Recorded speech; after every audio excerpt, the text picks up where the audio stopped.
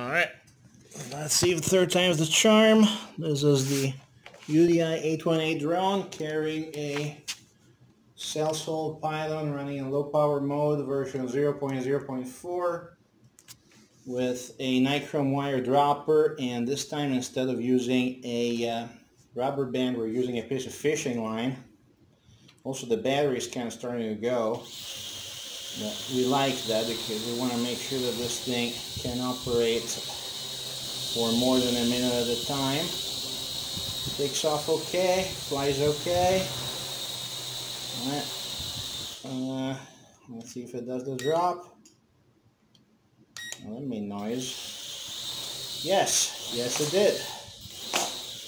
I kind of smashed the antenna with the drone, but it left the it left the pylon in place afterwards. So this thing works.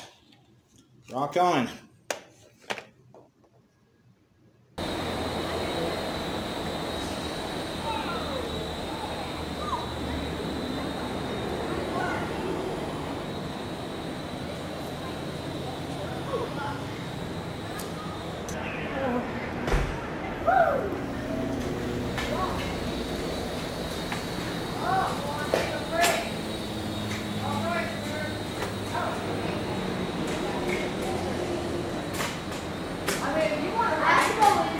마을